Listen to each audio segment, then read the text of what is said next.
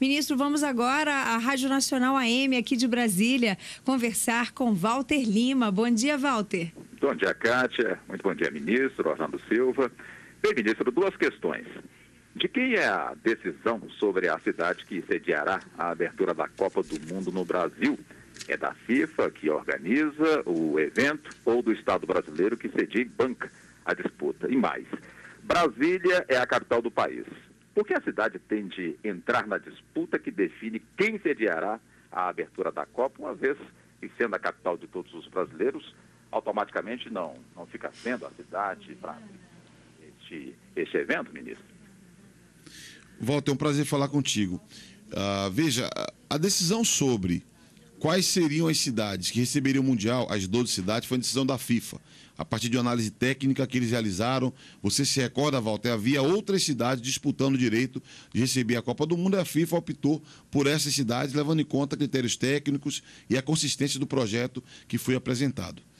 A decisão sobre a, a, as fases finais, sobre as cerimônias e o jogo de abertura, sobre o jogo de encerramento da Copa do Mundo, também é da FIFA. E é bom dizer que nós temos estimulado que os critérios técnicos sejam utilizados pela FIFA no nosso diálogo com eles, que é muito importante ter base objetiva, técnica, considerar a cidade que tem melhores condições levando em conta as características de cada fase da Copa, levando em conta as características de cada evento. Vou dar um exemplo para ti, Walter. A abertura da Copa. É o momento que reúne o maior número de chefes de Estado. Então, temas como aeroporto, para aviação geral, aviação executiva, temas como hotéis para receber chefes de Estado, são critérios centrais, fundamentais para trabalhar a cidade da abertura da Copa.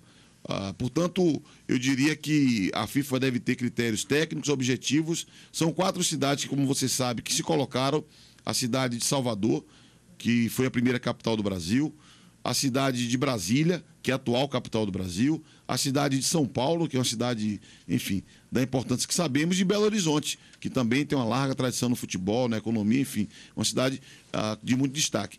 Entre essas quatro, a FIFA deve ah, escolher qual será a cidade da abertura do Mundial.